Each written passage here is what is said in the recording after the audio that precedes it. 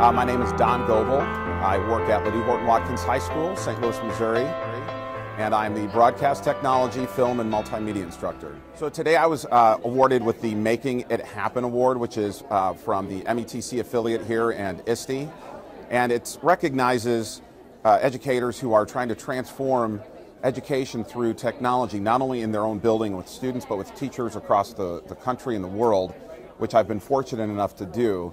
And what I think is special about it is that really what I do is I just share my students' stories and share the lessons that we work on together.